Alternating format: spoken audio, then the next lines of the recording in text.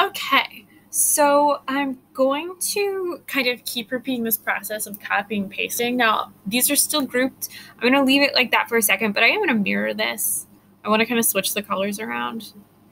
Mm, flip it. There we go. Gonna do one of these. Or not flip it.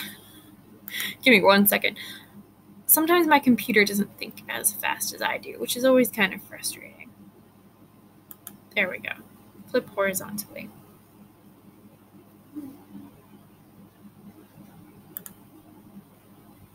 Okay, and we're good. So now what I'm going to do, right, I have two separate groups. I'm going to kind of drag and drop, right, across the whole section. I'm going to right click again, and I'm going to group them all together group. Definitely don't want to lock object. So now it's all one group, right? It kind of moves as a unit when you group them like that. And what that does is it helps things from sliding around. You don't have to constantly keep editing, like, you know, doing the small adjustments with the shifting. I want those to intersect just a little bit like the last one, right? And so now you can see how I can build a pattern really, really quickly.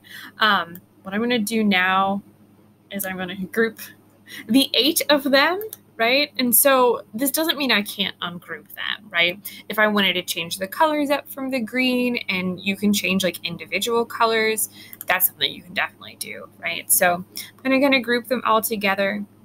And what I'm to do is I'm to resize it just so you guys can see them a little bit smaller right? And kind of see how fun it can be to like create this all over pattern, right? And it can be really ornate and really satisfying to do, right? So the hard part is coming up with the initial design, right? But now I can kind of, you know, continue to copy and paste, continue to make those those repeat patterns the entire time.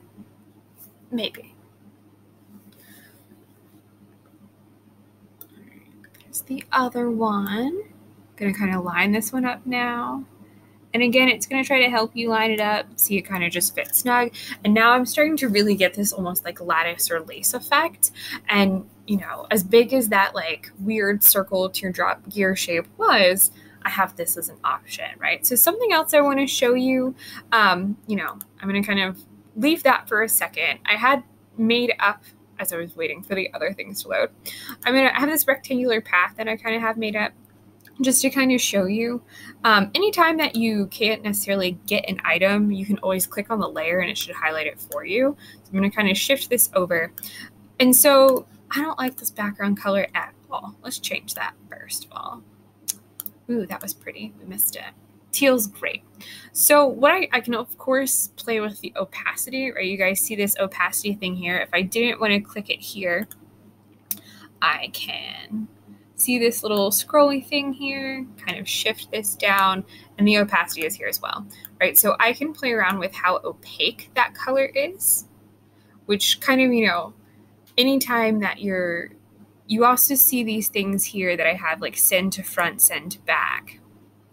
If I pull this to the front, see it's only in front of a couple of my shapes, only the one group you see how it kind of masks and changes the color, right? So you can really get really complex with your layers in this program and kind of build layers of color on top of each other. But it's also nice just to have that kind of sense of background, right? To kind of play around with the negative space.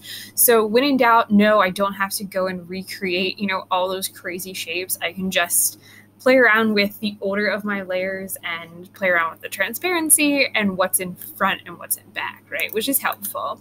Um, so I'm going to send this back again. Go back. There we go.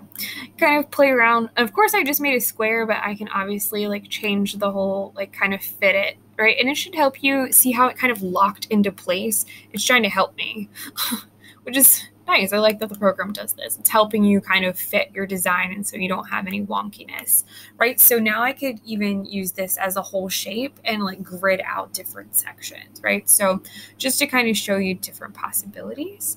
Um, the next thing we're going to go over is the pen tool. So what's going to happen is I'm going to turn off these layers that we just made, the groupings, the rectangle, all of that. And then I'm going to show you how to use the pen tool.